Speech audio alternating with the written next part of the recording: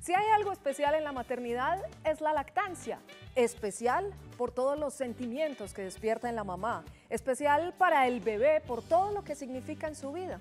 Especial. Especial especial que vamos a tener en paso a paso con la conferencia del pediatra español Carlos González que nos habla de amar, criar y amamantar. Este especial lo tendremos en nuestra pantalla el próximo sábado 8 de octubre a partir de las 5 de la tarde.